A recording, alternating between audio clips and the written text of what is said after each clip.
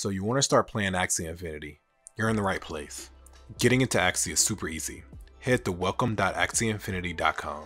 I'll provide the link in the description for you. You can go through these steps, but you don't need an account to play Axie Infinity. You can go straight to the download step to start playing the game. The Mavis Hub is a game distribution platform. It's like Valve's Steam, EA Sports Origin, or the Epic Games launcher. In the future, it will host many games related to the Sky Mavis universe. Once downloaded, open up the game for the first time. You can log in with your current Sky Mavis information or choose to play as a guest. That's about it to get into the game. There are some extremely helpful tutorials in the game and I have a full beginner series going over how to play, so you should be good once you're there. But what about all these cute little axies? Axie are a type of NFT or non-fungible token that you can purchase for many uses throughout the Axie Infinity universe.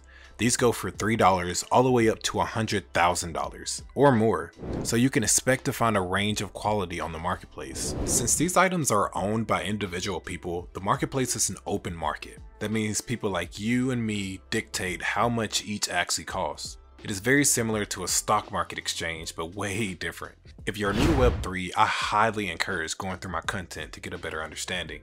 It has been amazing to see the transition of the marketplace over the years. The Axie ecosystem has also had its ups and downs. No matter when you get into Axie, just know that the price of Axies can fluctuate. With that said, let's get into the fun. Axies have a lot of special traits that give them value. Since much of the money you can make from Axie Infinity comes from the arena and competitive modes, you can imagine that Axie parts with high advantage against other players are the highest on the market. Axie Infinity has always had an aggressive strategy towards building its esports scene. Majority of the money given back out to players has been through tournaments. This doesn't mean that Axie Infinity is immune to the curse that inflicts all esports scenes though. Metas shift. Balancing a game is hard, just ask Overwatch. Sky Mavis has done a lot to balance Axie Infinity over the years, but with true monetary value backing each asset, you can imagine how much more complex the issue can get.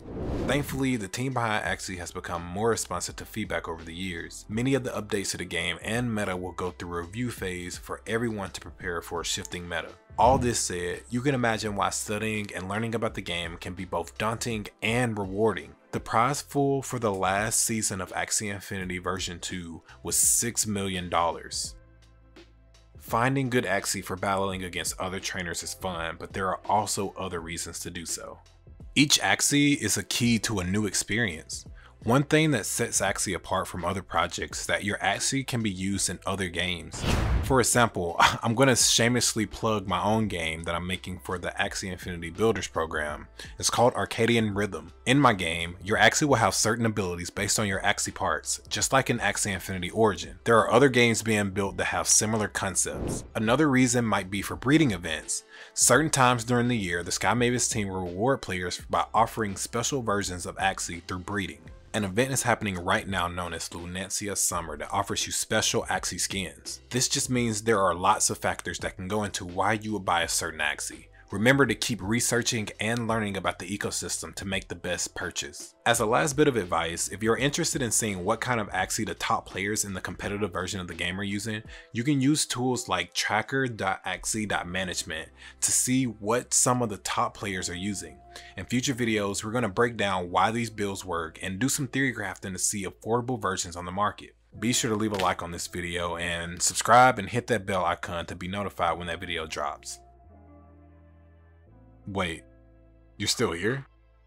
Aren't you playing Origins? Hmm. Well, there isn't much more to getting started in the game. Oh, you already played and you want to know how to cash out. Well, that's easy enough. There are several ways for you to turn your earnings into real money.